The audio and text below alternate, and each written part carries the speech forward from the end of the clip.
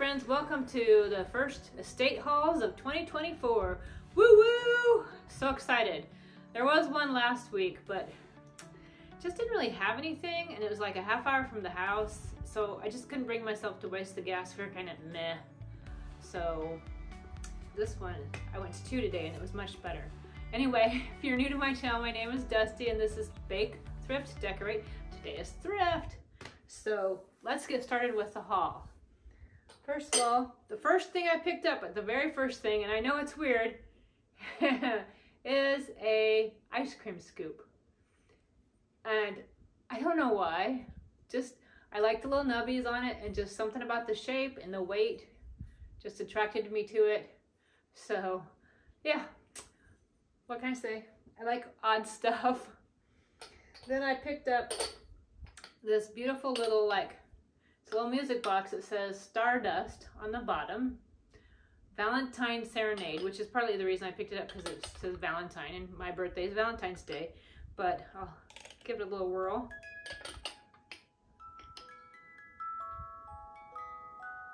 I like the little cottage scene on it and it's just really sweet. So I'm actually going to give this to my best friend Marnie. So there you go. Go from this way to that way so I know which I've shown you. Then I also got a candle snuffer.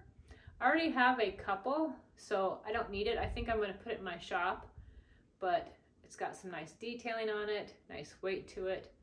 So see if I can show it to you a little bit there.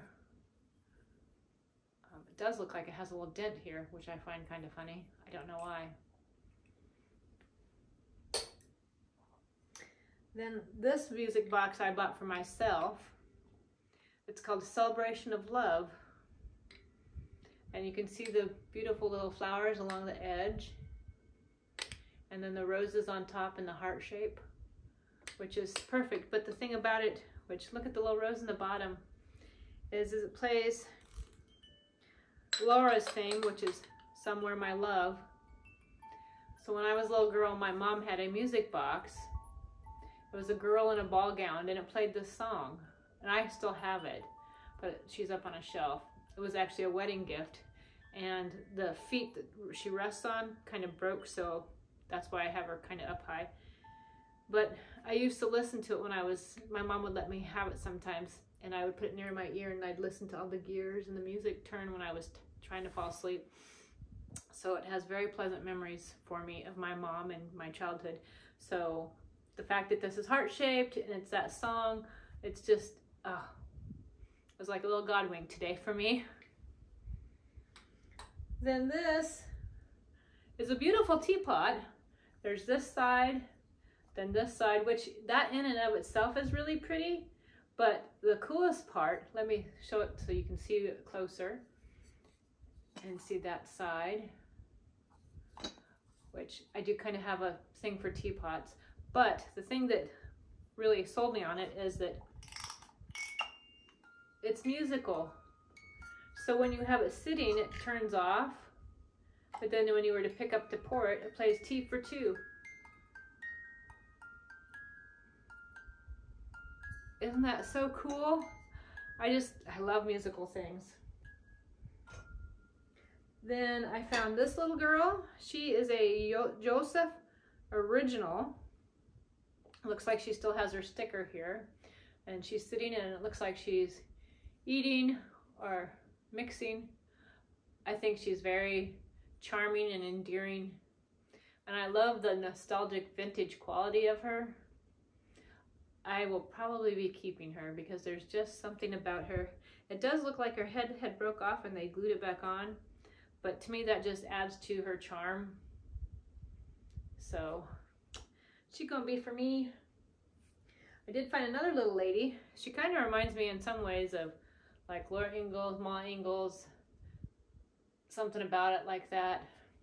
On the bottom it is marked, it says Wade, made in England, Marie, my fair ladies, fine porcelain.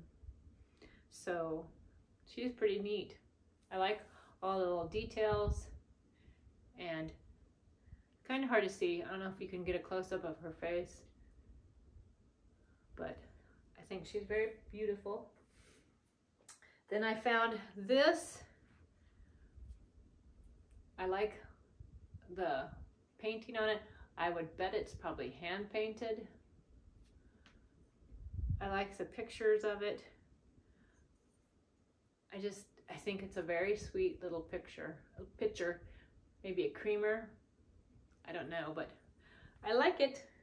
I like the detailing in the picture and the colors.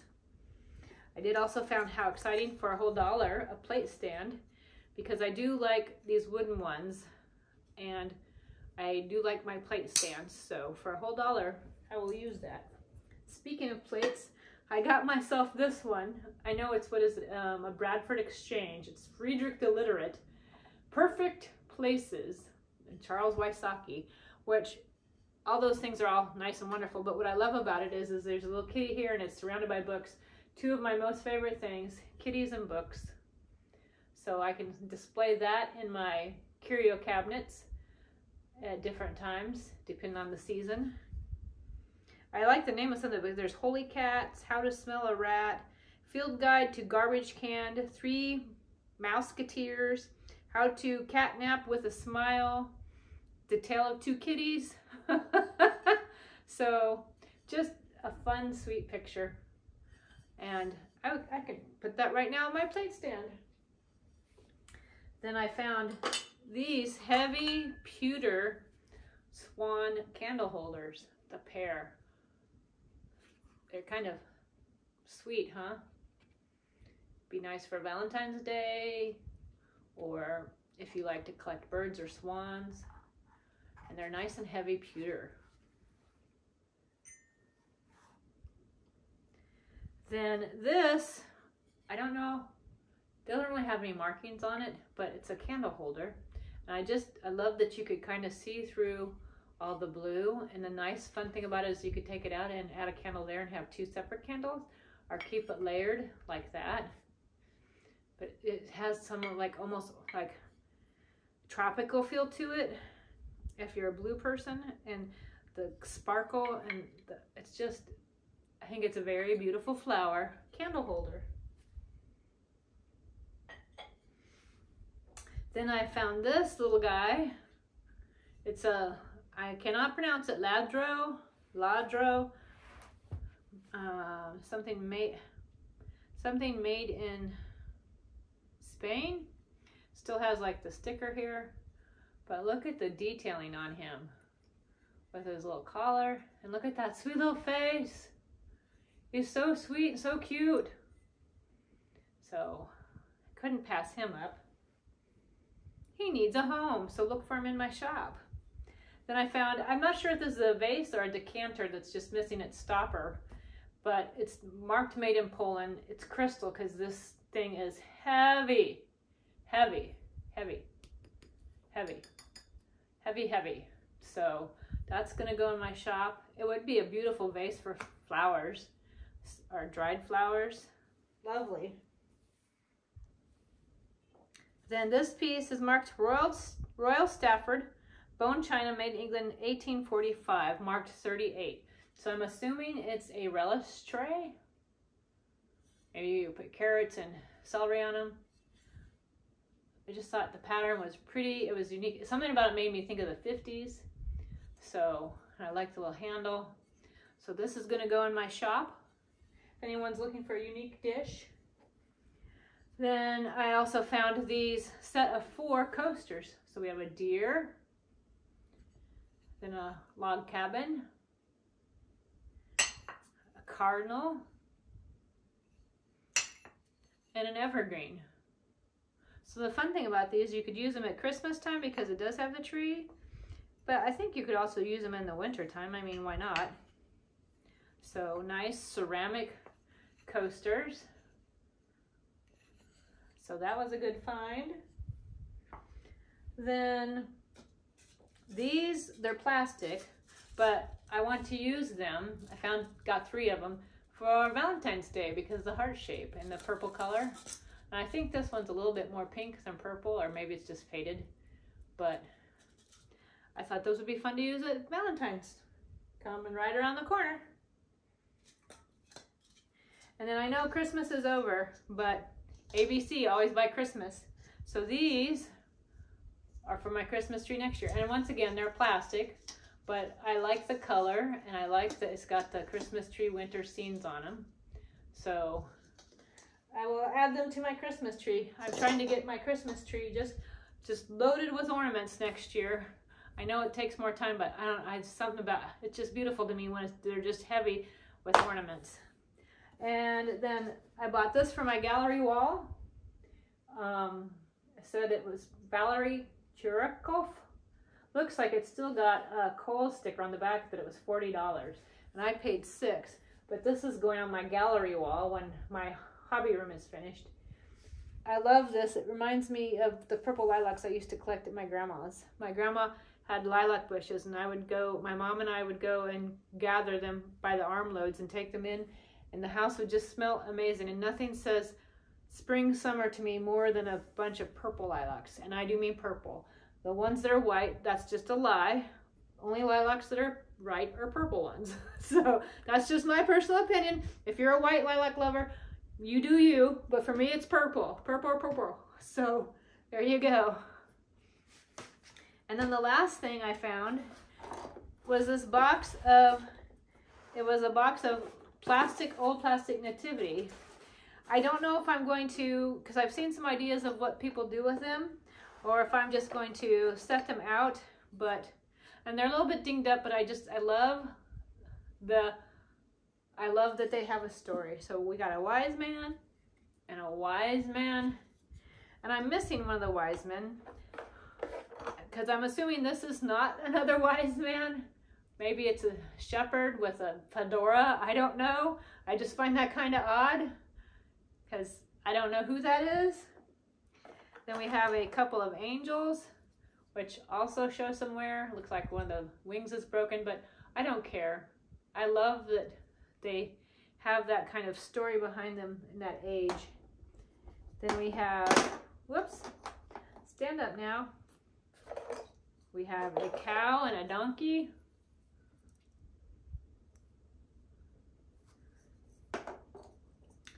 Then we have, I have a couple of sheep and their legs are broken, but the legs are in the box, so I'm gonna glue them back on.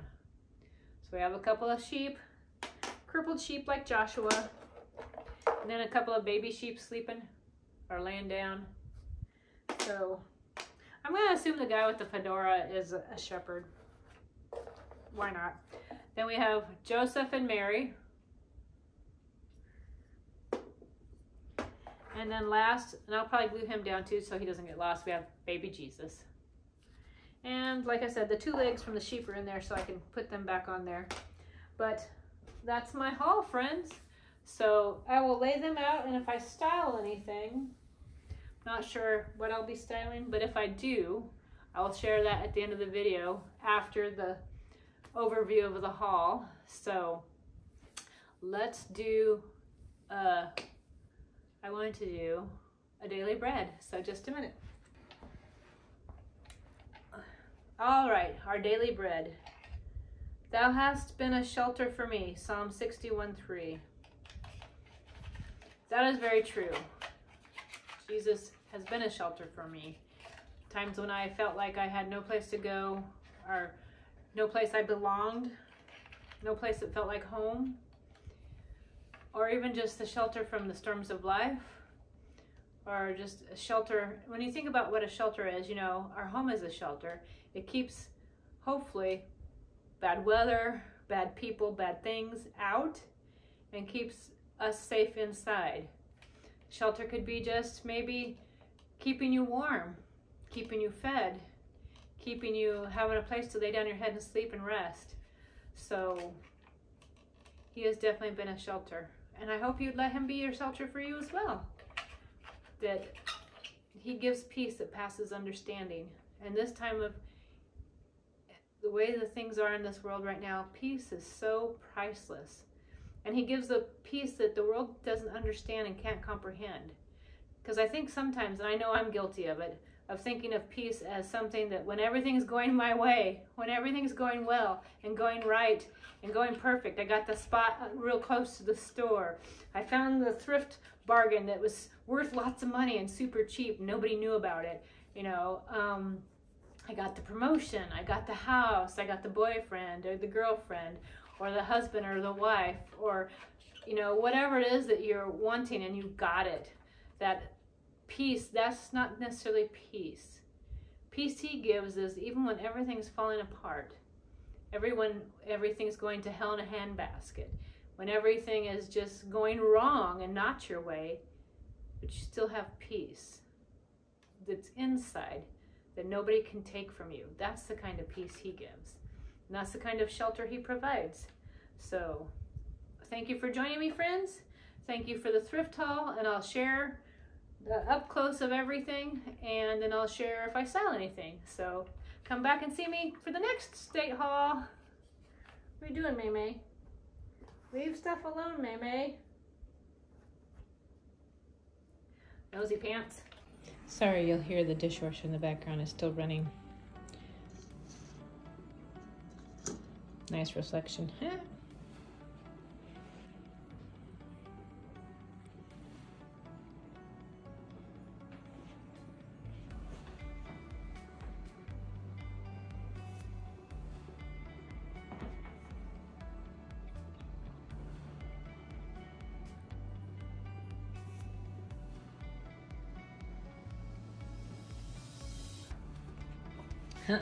I have the sheep currently upside down because I've glued their legs and I don't want them to fall back off. So that's why they're resting like they are until they're glued.